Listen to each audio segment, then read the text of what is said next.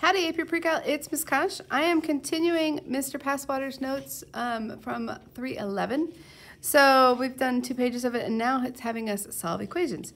Okay, so um, I haven't practiced this yet, so we'll see if I can get it right the first try. Um, okay, let f of x equal 4 cosecant x plus 3 and g of x equal 11. What are the coordinates of the points at the intersection of the graph for 0 to 2 pi? Okie dokie. Well, so let's set these things equal to each other. Well, okay one of my options would be, what does this graph look like? And so cosecant would have an asymptote at 0 and an asymptote at pi and an asymptote at 2 pi. So here's 0, here's pi, here's 2 pi. The 4 is going to stretch everything. Um, so this one actually opens up and then this one opens down. And then it shifts over. So everybody's going to stretch by a factor of 4 and then go up 3. So it, would, it went from 1 to stretch to 4 and now it goes up to so this is the point 7. So this is the point pi over 2 comma 7. Then this one, okay, so then it stretches down to negative 4, and then it goes up 3 units. So this is going to be, so it's looking something like this. This is 3 pi over 2 comma negative 1. Okay, and so they want to know when does this equal 11? Well, okay, 11 is going to be bigger than 7. I don't know if it's drawn to scale, don't care a whole lot, but I'm going to get two answers that should live between 0 and pi. Okay, so that kind of gives me an idea. Did we have to do this? No, not necessarily, but anyway, here we go. Okay, so 4 cosecant of x plus 3 equals 11. I'm going to subtract 3, get 8, divide by 4, and get 2. So cosecant of x is equal to 2.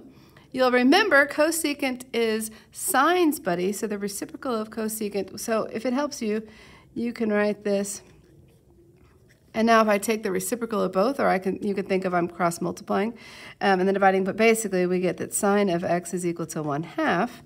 And now I think back to my unit circle, where does sine equal 1 half? Well, here and here. So this is pi over 6 and this is 5 pi over 6. So pi over 6 and 5 pi over 6. Does that make sense with my picture? I, I think it does. It looks like it's somewhere close to zero, somewhere close to pi, which is what we got right here. Um, and they told us to live between zero and two pi, so we did. Okay, let's look at the next one. Um, on this one, oh, the, the negative one half, so, well, we have, um, I'm gonna write it this way, negative one half secant of x plus three equals four. Okay, so then if I graph this side, um, I have my secant graph normally starts here and then opens up, but now it's going to be reflected and open down. Um, and this point, so it's going to do something like this. And then, oh, I lied to you. What did I do wrong? Did you catch it? Um, instead of being at negative one half, it's now going to go up three. So, well, what if I just change? I can pretend this is my midline, and I am now at, this is now the point zero comma um, uh, two and a half. Okay, here's my new, um, uh, sorry, now it messed with my head. Okay, so then the other one is going to be, it would have been at positive one half, but up three is going to get me to um, three and a half. Okay, so if this is if this is 0, 2 and a half, then we need, I wrote in the wrong spot, we'll call this line y is equal to 3, that's the new midline, and then we're, we have some point over here, well, I'm in a, and it's, this would be the point um, pi 3 and a half. Is that right? Let's see, secant of pi, um, secant of pi is going to be negative 1 times negative 1 half is now positive 1 half plus 3. And yes, there we go. Okay, and so then we're going to be over here again by 2 pi. So this is 0, this is 1 pi, this is 2 pi. And we know we want to know when it equals 4. So I expect answers um, near, well, this is, this is pi over 2. I'm kind of overcomplicating this. I'm sorry. And 3 pi over 2. So my answers better be between pi over 2 and 3 pi over 2. Okay. Do I always draw this? No. Anyway, sorry. Okay, negative 1 half secant x is equal to, subtract that to positive 1. Multiply both sides by negative 2. Secant of x is equal to negative 2. Secant's buddy is cosine, so this becomes cosine of x is equal to negative 1 half. Cosine on my unit circle is the x value. When is it negative 1 half? Here and here. So this is 2 pi over 3. and this is 4 pi over 3. What did we think it needed to be? We thought it needed to be between 3 pi over 2, which is here, and pi over 2. So th that does seem to match up to what we expect. So 2 pi over 3 and 4 pi over 3.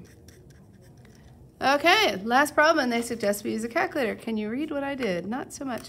Um, so I'm starting with the how I expect my kids to start with a cleared calculator. Um, okay, so menu. Let's go graph this. I see 3 minus 1.7 cotangent. Ah, okay, so with this, um, cotangent is 1 over tangent. There is not a, tan a cotangent button on the calculator. Um, and so then this becomes, in here we have a 0.5x minus 1. Okay, maybe I should have thought through this one a little bit ahead of time. Let's see what happens. Um, what do I expect this to look like? I expect,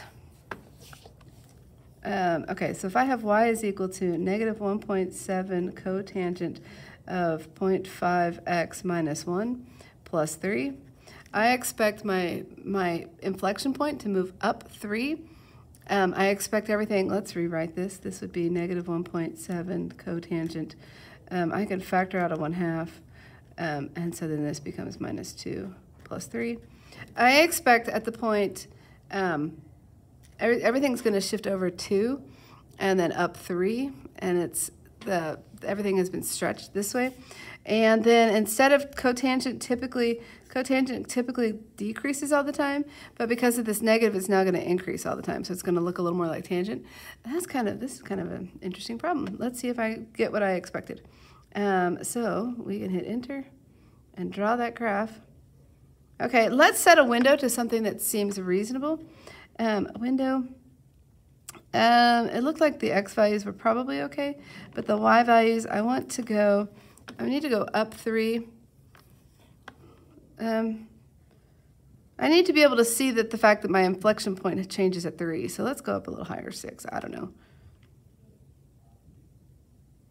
Okay, and that does look like what we expected. So what did they say in the x-plane? What are the x-coordinates at the point where p of x equals 2? Okay, so I didn't read the whole problem, but I can set this equal to 2.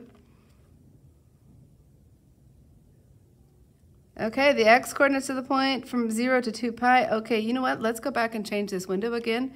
So um, let's go a tiny bit less than um, 0. So say negative pi over oh, that's not a pi.